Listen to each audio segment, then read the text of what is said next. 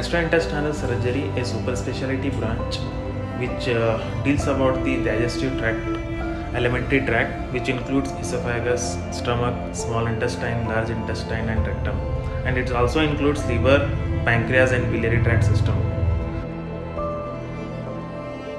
Dr. Arif Raza Ahmed, gastrointestinal surgeon, completed from Asian Institute of Gastroenterology, Hyderabad.